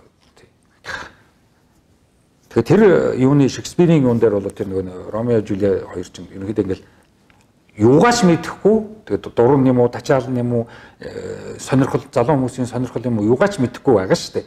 Тэг яг одоо лав гэдэг юу ч мэдэхгүй байгаа шүү дээ. Тэгэл тэгэл тэрийг одоо лав гэж ойлгоод одоо тэгэл одоо юу гэдгээр Шекспир л одоо тэгж бичиж байгаа шүү дээ. Тэг бидэрт ямар ч хамаагүй шүү дээ. Шекспир л тэгж бичсэн биз дээ. Тийм тэгэл одоо юундаа үнэнч мүнэнч гэдэл тэгэл одоо хоёлаа өхүй мөхөж гэдэг юм одоо яагаад байгаа Тийм үү? Яг одоо тийм нэг нэг баяны хүүхэд нэг нь жоохон баяны биш хүүхэд нэг нөгөөх нь ээж аавд болохоор тэрнтэй чамайг суулгахгүй ч гэсэн нөгөөх нь болохоор би заавал сунаа сухгүй бол өхнэч гэдэг юм уу тэгэл одоо ер нь тийм юм зөндөөс Тристаны Зоолд Шахрадзе тэргээл том том том том зохиолууд бол дандаа л хамгийн сүүл тэгэл хоёлаа тэгэл хайдуул манталтгүй гэл тэгэл хоёлаа хороо уугаал тэгэл баяртай болж байгаа шүү дээ. Тэгээ тэр чинь бол зүгээр л уран зохиол романтик л тэгж болохоос хүний хувийн яг одоо ингээд хоол ундаа идэл аж амьдралтай цалинтай мөнгөтэй явж байгаа тэр хүмүүст бол ямар ч хамаагүй байхгүй. Ямар ч хамаагүй. Ер нь бол болвол тэр болохгүй бол тэр тэгэл амьдрал чинь өөрөө ингээд бидраас маш их юм хамааралгүй. Тийм. Тийм маш их юм хамааралгүй шүү дээ. Бид нар бид нар бид нар удирдах чадахгүй амьдралыг. Ялангуяа өнөөдөр шиг юм 21 дугаар зууны юм дижитал мижитал юмнууд болчихсон ийм үед бол бүрч хэцүү одоо бид нар мэдэн ш нэг янз бүрийн фильмүүд дээр гардаг ш. Тэгэл хоёр ингээл дээт болоод эрэгтэй могтой хоёр уулздаг ш. Дээт болоод тэнгуүтэл тэгэл гар утсан дээрээ бас нөгөөдх нь ингээл бичиж байгаа нэг кино фильм дээр байдаг ш. Тэ өөр хүнтэй бас бичилцээ л. За энэ жагаад би цагийн дараа чамраа хоёлаа ингээд уулзъя. За энэ төр гэл ингээд бичээд байгаа байхгүй. Тэсвэртээ нөгөө хүнтэйгээ ингээд дээт болоод байгаа байхгүй. Тэгээд тэр чинь ийм ийм ийм сонь цаг үе эхэлж гисэн байхгүй. Тэгэд ийм ингээд болцсон үед чинь хүн ийм хоосон юунд орчод байгаа байхгүй төрөгтөлд орчод байгаа байхгүй. Яг тийм их олон хүнтэй танилцах боломж байгааг тийм их одоо хүнтэй хайртай болж одоо суух ч юм уу амьдрах ч юм уу боломж байна гэж буруу төрөгтөлд ороод байгаа байхгүй. Тэг. Одоо тэг 100 найз ч юм уу 100 хүсэлт 100 одоо хүнээс э, хүсэлт янз бүр ирсэн байхад э, бүгдээрээ боломж гэж хараад байгаа. Тэгэхээр 100 л боломж биш байхгүй. Тэр их олоныг чинь харчаад нэг л боломжтой юм шиг амьдрал нэг л их шанстай юм шиг харагдаад байгаа байхгүй англист яста шансгүй болсон байхгүй. Нөгөө талдаа. Тэгэхээр тэр тэр одоо төөрөгдөл бол маш их одоо хүмүүст бол хоосон одоо юу үсгэж байгаа байхгүй. Боломжтой юм шиг тийм дүр төрх одоо юу гэдгийг тийм сэтгэл үсгэж байгаа байхгүй. Тэр ч яста боломж. Ялангуяа одоо 21 дугаар зуунд хүнтэй шинээр танилцах маш хэцүү яг л бүх юм чинь ингээд юу болчихсон. Тэгэл мөнгө, престиж, карьер тэгэл ингээд ирээдүг гэсэн нэг муухай үг байна. Хэдэн жилийн ирээдүг гэдэг юм. Би одоо ирээдүг гэдэг үг ерөөхдөө нэг тоодгүй шүү дээ. 20 жил юм 10 жил юм мэдгүй. Тэгэл яг нөгөө хин том том одоо философч нэг одоо эдгээр чинь бүгдээрээ л хэлж байгаа шүү. Яг одоо энд тэрэл чухал. Маргааш бол ирээгүй байна. Өчигдөр бол аль хэдийн алга болсон. Дахиж хизээж ирэхгүй. Тэгэхээр энэ дахиж хизээж ирэхгүй хизээ ирэх хэрэггүй нь бидэрт чухал биш. Энэ хоёрын дунд л бид нар ч одоо яг одоо байна. Existence. Шудрагаас шудраг нэг ном дээр ч мэрэгжлийн шудрагаас талаар бас байсан мэрэгчлүүдээ. Тэс нийгэм судлаачдын шудрагаас талаар таас. Харин тийм судлаач яг танд юм. Манайд ер нь тийм манай Монголын энэ нийгэмд ер нь Улаанбаатар хот тэгэл дарахын эрдэнтийн том хотууд дээрээс энэ энэ нийгэм судлал социологи аягүйх дутагдаад байгаа байхгүй. Энэ одоо бидний ярьж байгаа сэдвүүд дотор маш их социологийн сэдвүүд байгаа байхгүй. Одоо энэ хайр гэдэг чинь бас социологийн сэдв, амьдрал сайхан штэ гэдэг чинь социологийн сэдв тийм үү? Тэрүүгээр одоо ингээд ийм асуулт хариулт явуулаад нийгэмд ер нь залуучууд хайр дурлалын тухай ямар сэтгэлдтэй байна уу гэдэг. Бүр ингээд асуулт хариулт явуулаад хариу гаргацсан байх хэрэгтэй байхгүй. Тэдэн хувь нь хайр дурлалыг хэрэгтэй гэж, тэдэн хувь нь хэрэггүй гэж, хайраар яах юм гэж гэдэг юм уу? Манай нийгэм юм байна. Аа юунд одоо амьдрал сайхан гэдэг хүмүүс одоо тэд байна. Амьдрал муухай гэдэг хүмүүс тэд байна. Тэгэхээр ер нь бол нийгэм ийм байна гэсэн юм нийгэм судлалын яг одоо нийгмийг ингэж гаргаж ирэх тэр үннээр нь гаргаж ирэх ийм социологийн мэрэгжил манайд дутагдаад байгаа байхгүй. Яг сонгол Монголын жилүүд нэг социологч гарч ирэл тэр нам одоо ялах нь болно ч гэдэг юм. Эсвэл ийм хачаач юм л яриад шүү дээ. Тэгэхээр яг одоо бидний нийгэм болж байгаа энэ одоо үйл явдлуудыг жишээлбэл одоо манай чинь амиа орлох, амиа игүүдэх одоо их гээд байгаа шүү дээ. Ялангуяа эрэгтэй хүмүүсийн дунд чих байна гэдэг. Тэгээ энийг чи одоо гаргаж ир тайлбарлахгүй шүү дээ. Тэ? Тэгэл одоо би социологч гэл тэгэл Францын ч юм уу Германы ч юм уу социологчдын номыг бидэрт ямар ч хамаагүй христийн шашны арт түмний номыг орчуулаад тулгаад л тэгээ суугаад шүү дээ. Тийм манад бол ямар ч хамаагүй. Э, философч хүн багш яг ямар ямар салбар зайлшгүй шаардлагатай байгаа юм болоо. Ер нь ер нь бол философч хүн бол ер нь олон салбарт хэрэг болдог л доо. Ер нь бол яг барууны орнуудад бол философчд бол компаниудад их одоо компани захирал удирдах зөвлөлийн дэргэд бол ерөнхийдөө хүний одоо тэр нэг бид нар хүний human resource гэдэг байдаг шүү дээ. Тэрэн дээр маш их зөвлөгөө өгдөг л доо. Ер нь яг энэ human гэдэг чинь ямар хүн чинь ямар асуудалтай юм, юунд баярлдгийг, юунд гомддгийг, юунд мотивацтай болдгийг, юунд сэтгэлээр ундгийг, юунаас болж нэг нэг нэгэ 3 4-лээ нийлээд тийм үү? Э нэг ингэж яагаад гадуурхаж яагаад ажлаас нь гаргадаг ч юм уу? Тийм одоо яадаг ч эсвэл дарддаг ч юм уу? Ийм психологийн юмнууд яагаад явагддгийг тийм үү? Хүн ер нь тийм одоо нэг хуман кондицио гэдэг ч тийм үү? Тийм кондицио хумана тийм хүн ер нь ямар юм бэ гэдгийг чинь философч чинь тайлбарж өгч яддаг за эмнэлгийн газруудад бол маш их байдаг. Бас одоо ингээ ёс суртахууны асуудалд орцсон одоо ингээд тийм амьдрал жоохон готарчихсан тийм үед бас эмнэлгийн газруудад бол маш их одоо зөвлөгөө өгдөг. Тийм үү? Ер нь бол одоо эцсийн амьдрал гэж ер нь юу юм? Тийм үү? Хүн хүн гэж юу юм? Хүл гэж юу юм? Ч гэдэг юм уу тэр бүгдэд одоо бас ингэ тайлбарлал өгдөг. Ёс суртахууны их том зөвлөгч нар байдаг. За байгаль хамгаалах салбарууд бол байгалыг хамгаалах байгаль гэж бид нар одоо юу хэлээд байгаа? Юуг бид нар онгон байгаль гэж байгаа. Байгалыг ашигласнараа уул уурхай байснараа энэ ан амтан энэ дэлхийн бөмбөрцгийн ирээдүйд ямар их одоо хор нөлөөтэй тэрэн дээр бас этикийн хувьд ёс зүйн хувьд зөвлөгөө өгөх. Тэ? За тэгээд янз бүрийн танин мэдхүүн зөвлөгөөнүүд дээр бас мэдлэг гэж юу хүнд ягаад мэдлэг байгаа хэрэгтэй гэсэн ийм салбаруудад бол их ажилдаг. Философчдаг бол үндсэн хуулийн цэцэд бол философчд их суудаг. Юуг одоо үндсэн хуулийн зүйл гэдэг юм хүний одоо ирэх гэж юу хэлээд байгаа юм. Яагаад хүний ирэх хэрэгтэй?